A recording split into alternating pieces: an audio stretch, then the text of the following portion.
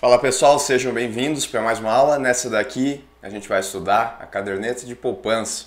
Tá na tela para vocês. Primeiro, a definição. Conhecida apenas como poupança, a caderneta de poupança ela foi criada, olha só, lá em 1861, juntamente com a Caixa Econômica Federal. E objetivava, naquela época, pagar um rendimento de 6% ao ano em forma de juros ao investidor. Tá? Ela tinha como objetivo justamente permitir a poupança popular daquelas pessoas de baixa renda naquela época de 1861. Né? A Caixa Econômica Federal foi criada nessa época, a poupança também, o nome inclusive era diferente. Ao longo dos anos, a sua rentabilidade, suas características sofreram algumas mudanças. Então, desde lá de 1861 até hoje, a remuneração da poupança e algumas características elas foram sofrendo alterações. Né? A última em 2012, mas a gente já vai chegar lá. Atualmente, as seguintes instituições estão autorizadas a emitir a caderneta de poupança. Então, começou com a Caixa Econômica Federal, mas hoje as sociedades de crédito imobiliário, que são as SCI, os bancos múltiplos com carteira de crédito imobiliário, as associações de poupança empréstimo e as cooperativas de crédito. Esse pessoal aqui, eles conseguem captar através de caderneta de poupança, porque a lógica é a mesma. O investidor, ele vai até uma instituição financeira, até uma dessas aqui, leva o seu dinheiro, abre uma conta e coloca dinheiro na poupança. É uma forma de captação para o banco. Falando especificamente sobre isso, tá? A poupança ela é uma modalidade de conta distinta da conta corrente, em que o investidor possui em determinada instituição financeira. Então, olha só, a conta de poupança, assim como a conta corrente, elas são contas de depósito. Mas eu posso ter apenas uma, né? posso ter só a conta corrente ou só a conta poupança, ou eu posso ter as duas, nada me impede, tá? A diferença é que quando eu coloco em conta corrente, também conhecido como depósito à vista, eu não vou ter remuneração em cima dos valores que estão lá. Quando eu coloco na conta poupança, eu vou ter rendimentos. E a conta corrente ela é mais uma conta de movimentação, para fazer mais saques, para fazer mais transferências. A conta poupança, a ideia dela é gerar rendimento. Então não é para ser uma conta de movimento igual é uma conta corrente. Apesar de que na poupança a gente vai ver, a gente consegue fazer transferência, a gente consegue fazer saque, a gente consegue movimentar ela. Né? Inclusive a gente tem liquidez.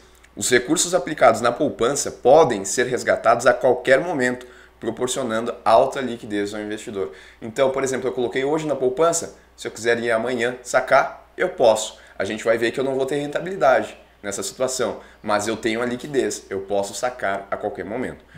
A poupança ela também tem característica de ser de baixo risco. Ela é considerada um investimento de baixo risco, pois os depósitos são garantidos pelo fundo garantidor de crédito. Depois a gente vai ver um pouquinho mais sobre isso, tá? Mas, além disso, ela é um investimento de renda fixa, não renda variável, então também baixo risco. Tá aqui, ó, rentabilidade fixa. A rentabilidade da poupança é determinada pelas variações da taxa Selic. Também vamos ver como é que funciona a remuneração. Lembra que eu falei que sofreu alterações ao longo do ano? Essa foi uma das últimas. Isenção de impostos. Para pessoas físicas, não há cobrança de imposto de renda ou de IOF, que é o Imposto sobre Operações Financeiras e ela tem um acesso simples. Para investir, basta o investidor abrir a conta e depositar valores. Geralmente não há um mínimo de investimento, ou seja, qualquer valor pode ser depositado. Bom, agora a gente vai falar da rentabilidade. Eu falei que a poupança ela tem liquidez diária. Eu posso, por exemplo, colocar hoje, sacar amanhã, sacar depois de amanhã, não tem problema. Mas eu falei também que se eu fizer isso, eu não vou receber remuneração. Por que isso? Olha só. Embora a poupança ofereça liquidez diária, é importante observar que sua rentabilidade para pessoas físicas é calculada de forma mensal, incidindo sempre sobre o menor saldo mantido no período. Tá? É de forma mensal. Em resumo, eu coloquei uma aplicação hoje para que ela renda alguma coisa na poupança, ela tem que ficar pelo menos um mês. Se eu retirar antes de completar um mês, eu não ganho. Tá? Eu já vou explicar melhor o que é essa ideia aqui do sobre o menor saldo mantido no período, porque isso é importante também. Olha só, isso significa que para os recursos alocados na poupança gerarem rendimentos, o valor deve permanecer na conta por no mínimo 30 dias. Exemplificando, observe os seguintes depósitos em poupança. Ó, lá no dia 4 de janeiro foi depositado 300 reais. Para esses 300 reais, os rendimentos referentes só serão contabilizados no dia 4 de fevereiro. E aí a gente chama a data que completou um mês e que gera rendimento como data de aniversário, que é um mês depois. Então, sempre um mês depois desse depósito de 300, vai acontecer juros sobre os 300 reais, tá bom? A não ser que a pessoa resgate, mas aí a gente já vê. Mas se ela manter, se ela foi lá no dia 4 de janeiro, depositou 300 e ela manteve isso por um ano, a cada mês, no dia 4, vai render um pouquinho de juros. No dia 7 do 1, ela foi lá e depositou mais 200. Aí os rendimentos referentes a esse depósito vão ser contabilizados a partir do dia 7 de fevereiro. Entenderam? A cada depósito que eu faço, esse depósito vai ter uma data de aniversário. Tá? Para os 300 reais, a data de aniversário é dia 4.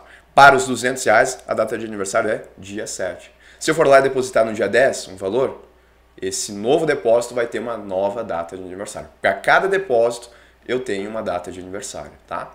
E por que sobre o menor saldo mantido no período? Pensa o seguinte, a pessoa foi lá e depositou esses 300 reais no dia 4. Aí, no dia 9 do 1, ela sacou, vamos colocar aqui que ela sacou 200 reais, tá? Significa que ficou sobrando 100 reais. Esquece por enquanto esse depósito de 200, tá? Significa que dos 300 reais ficou sobrando quanto? Ficou sobrando ainda 100 reais. Lembrem que a data de aniversário do depósito de 300 foi dia 4. Né? Então, no dia 4 de fevereiro, tem que gerar juros. Só que vai gerar juros sobre 300 ou sobre 100 reais? Porque ela fez um saque. Né? Vai gerar juros sobre os 100 reais que foi o menor saldo mantido no período, né? Se a gente levasse em consideração que ela apenas tinha feito esse depósito aqui de 300. Tá? É sobre sempre, é sempre sobre o menor saldo do período. Se a gente tem esse outro depósito aqui, né? Se ela fez o aqui, ó. Se ela fez os dois depósitos, como está aqui no exemplo, e sacou 200, aí ele vai retirar de qual? Ele vai retirar desses 200 aqui ele sempre vai retirar da última aplicação que foi feita, tá? Para manter as mais antigas. Então, se a pessoa, vou colocar até em vermelho, veio aqui e sacou, vou colocar outro número para facilitar, sacou 150, tá? Concordam comigo que no dia 9 de janeiro ela tinha esses 300 mais esses 200, ela tinha 500. Ela vai ficar com quanto agora? Sacou 150, ela vai ficar com 350 tá? Só que olha só, ele vai puxar do último saldo, do da último depósito que foi feito. Então esses 200 aqui vão ficar sobrando só 50 reais, né? Ela fez o saque de 150, tinha depositado 200, sobrou 50. Esses 300 não foram mexidos. Então, quando chegar no dia 4 de fevereiro, sobre esses 300 reais aqui, vai ter juros sobre o total. Agora, sobre o depósito de 200, vai ser sobre o menor saldo mantido no período. Qual que foi o menor saldo mantido no período? 50 reais. Tá bom? Para cada depósito, então, sua data de aniversário. Sempre que for fazer um saque, ele vai puxar da última, do último depósito que foi feito. E se o investidor resgatar antes de 30 dias, que é o que a gente viu agora, né? Primeiro resgatou 200, e depois eu fiz outro exemplo onde ele sacou 50, antes de completar um mês do aniversário. Se ele resgatar a totalidade do depósito, não vai haver qualquer rendimento. Então, se ele tivesse sacado 200 daqui, não ia ter rendimento, né? porque ele sacou antes de completar o mês. Se for parcial, haverá rentabilidade sobre menor saldo mantido no período, tá? Tranquilo. Aplicações que iniciam no dia 29, 30 e 31 de um mês somente começam a pagar rendimentos a partir do primeiro dia do mês seguinte, tá? Então a data de aniversário passa a ser no dia primeiro. Se a pessoa for depositar dia 29, 30 e 31, não vai ser exatamente um mês vai ser um pouquinho mais, vai ser dia 1 Isso porque em fevereiro, de ano bissexto, a gente não tem dia 29, 30 e 31. Né? Então, para padronizar, colocou-se que essas datas aqui completam aniversário no dia 1 Bom, e em relação à remuneração, porque a gente está falando, vai gerar juros, vai gerar juros, mas quais são esses juros, Renan? Vamos ver. A rentabilidade da poupança ela sofreu alterações no decorrer dos anos. A última dessas alterações aconteceu em 4 de maio de 2012, quando ficou estipulado que a rentabilidade da poupança é dada em função da meta da taxa Selic, vigente no momento. Atualmente, a remuneração da poupança para pessoas físicas e pessoas jurídicas sem fins lucrativos segue a tabela abaixo. Tá? Então, para pessoas físicas e pessoas jurídicas, desde que essas pessoas jurídicas não tenham fins lucrativos. Como é que funciona? Lembrem, né? A remuneração do Selic é dada em, em, função da meta da taxa Selic. Se a meta da taxa Selic ela for superior a 8,5% ao ano, o Copom se reuniu, decidiu que a meta da taxa Selic agora é de 9%. Eu pergunto, é superior a 8,5%? É superior. E o que, que isso significa para a poupança? Significa para a poupança que a rentabilidade para pessoas físicas e pessoas jurídicas sem fins lucrativos vai ser de 0,50% ao mês, mais uma outra taxinha chamada de taxa referencial. Tá? Então, a gente tem uma rentabilidade pré-fixada e mais um índice de referência. Tá? Por exemplo, se a TR ela deu Estou chutando, tá? Esse valor muda. Não é importante a gente saber quanto é que é TR. É importante saber que ela está junto na remuneração da poupança. Se a TR deu 0,2, a rentabilidade da poupança vai ser 0,50 mais 0,2. 0,7, Renan? Não, né? Isso daqui não é juros simples, mas apenas para vocês entenderem. Teria que fazer o cálculo de matemática financeira. Mas é exatamente isso. É os 0,50 ao mês fixo mais a TR. Se a TR tiver 0,2, vai ser 0,50 mais 0,2. Perfeito, né? Tá, e se a Selic estiver abaixo de 8,5% ao ano? Aí funciona assim. Copom se reuniu, decidiu que a meta da taxa Selic é 6%. Aí a remuneração da poupança ela vai equivaler a 70% da meta da taxa Selic, mais a TR. A TR sempre está presente, não esqueçam, tá? Tem que lembrar da TR. Então, como é que funciona? Se o Copom determinou que a Selic está em 6%, a meta da taxa Selic está em 6%, a gente vai calcular 70% disso. 70% de 6 vai dar 4,2% mais a TR. Aí nesse caso a TR está quanto? Ah, Renan, a TR está 0,1. Aí a rentabilidade vai ser 4,3%. É comum que quando a meta da taxa Selic ela esteja mais baixa, a TR inclusive seja zerado. Se a TR estiver zerado, aí vai ser zero aqui, vai ser só os 4,2%, tá bom? Tranquilo. Isso para pessoas físicas, vamos destacar aqui, né? Pessoas físicas e pessoas jurídicas sem fins lucrativos, certo? E para pessoas jurídicas com fins lucrativos, aí a remuneração é um pouquinho diferente, tá? Porque a rentabilidade para pessoas jurídicas com fins lucrativos não é mensal, é trimestral. Eu não tenho que deixar só um mês, eu tenho que deixar três meses para que o valor renda alguma coisa. A data de aniversário é a cada três meses. Então, a remuneração para essas pessoas vai ser de 1,50% ao trimestre mais a TR. Porque a gente está falando em três meses, ou 70% da meta da taxa Selic mais TR, só que ao trimestre. Isso para pessoas jurídicas, vou repetir, PJ com fins, tá? Fins lucrativos. Caso o investidor possua alguma aplicação que antecede a data de 4 de maio de 2012, ele vai continuar a receber os rendimentos de acordo com a regra antiga, que estabelecia que a poupança rendia 0,50 ao mês acrescida da TR. Então, olha só. Lembrem que eu falei que isso daqui mudou em maio de 2012. Passou a levar em consideração a meta da taxa Selic. Quer dizer que antes não levava. É, antes não levava. Antes, independentemente da meta da taxa Selic, porque não levava em consideração isso, a rentabilidade da poupança era de 0,50 ao mês mais TR. Era exatamente como é hoje, quando a Selic está acima de 8,5%. E aí eu pergunto, aquela pessoa que aplicou em, vamos colocar aqui, ela aplicou um valorzinho no dia 1 do 5 de 2010 e de lá para cá ela não mexeu nesse valor que ela depositou. Sei lá, ela colocou 100 mil reais. De lá para cá ela não mexeu nesse depósito, ainda está lá. Ela colocou dia 1 de maio de 2010 na poupança. Bom, essa pessoa aqui, ela ainda é remunerada pela regra antiga. Então, para essa pessoa aqui, se a meta da taxa Selic for a 2%, ela ainda vai continuar recebendo 0,50 ao mês mais TR. Muito bom, né? E isso aconteceu. Quando a gente teve com a Selic ali abaixo de 3%, muitas pessoas ainda não tinham depósitos antigos da caderneta de poupança, elas estavam sendo remuneradas dessa forma aqui poupança dando mais rendimento do que muitos investimentos aí de renda fixa, mas muito mais. Né? Porque 0,50 ao mês aqui mais TR estava uh, dando aí, a TR estava zerada, né? mas estava dando aí então mais de 6% ao ano de juros efetivos, enquanto que a Selic estava na casa de 2,5%, 2,75%. Perfeito, né? Que interessante isso. Mas se ela mexer nos 100 mil reais e depositar, aí ela vai cair na nova regra.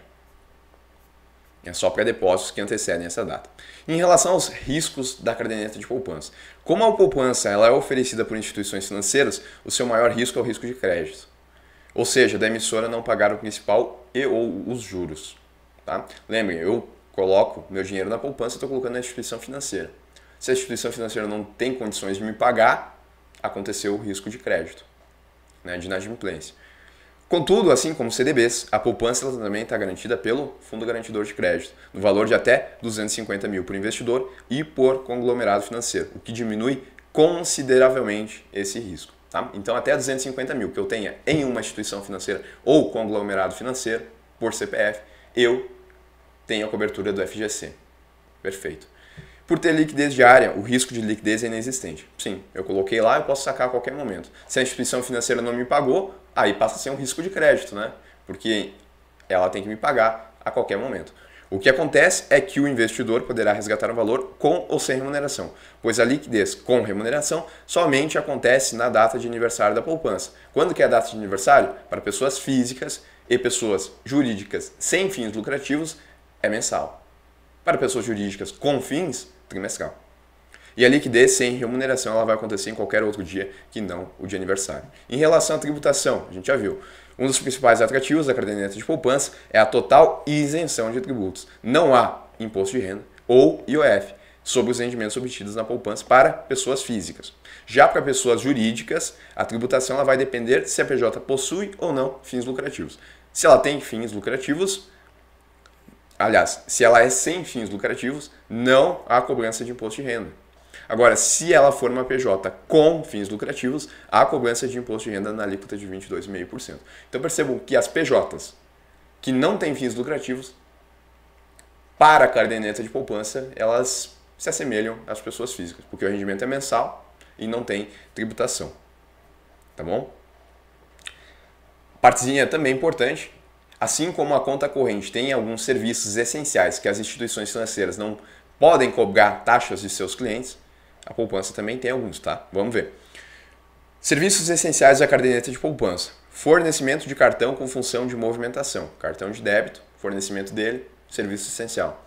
Fornecimento de segunda via do cartão, exceto nos casos de pedidos de reposição formulados pelo correntista decorrentes de perda, roubo, danificação e outros motivos não imputáveis à instituição emitente. Então, se eu perdi meu cartão, eu posso pedir uma segunda via, mas aí não vai ser um serviço essencial, porque foi por minha culpa. Se a segunda via for de responsabilidade da instituição financeira, daí é um serviço essencial. Quando que isso acontece? Cartão está vencendo, venceu. Segunda via desse cartão que venceu, serviço essencial. Realização de até dois saques por mês, até duas transferências para conta de depósito de mesma titularidade. Então, uma outra conta minha, né? Duas transferências. E até dois extratos contendo a movimentação do mês. Então, lembrem, tá? Quando a gente está falando de poupança, é 222 dois saques, duas transferências e dois extratos. Lembrem que a transferência é para conta de mesma titularidade, ou seja, outra conta minha. Uma conta corrente que eu tenho, por exemplo. Aí eu posso, né, sem pagar, até duas transferências. Realização de consultas mediante utilização da internet e extrato consolidado, discriminando mês a mês as tarifas cobradas no ano anterior em conta corrente de depósito à vista ou em conta de depósito poupança. Tá? Perfeito. Um resumo, né? Só para a gente se orientar aqui. Quem é que emite a caderneta de poupança? Caixa Econômica, Sociedade de Crédito Imobiliário, Banco Múltiplo, Associação de Poupança e Empréstimo, Cooperativa de Crédito, mas o Banco Múltiplo tem que ter carteira de crédito imobiliário. Remuneração, a partir de 4 de maio de 2012, 0,50 ao mês mais TR, quando a Selic estiver acima de 8,5%, 70% da taxa Selic, se ela estiver abaixo de 8,5%, isso para pessoas físicas e jurídicas sem fins lucrativos. Remuneração até 4 de maio de 2012, apenas essa regra. Rendimento para pessoa física é mensal. Rendimento para PJ, com fins, tá? Não esqueço, trimestral. IR para pessoa física, isento. IR para PJ, isento se for sem fins. Se for com fins, 22,5. FGC possui cobertura, tá? Pessoal, a gente corta aqui e volta para a gente treinar com as questões.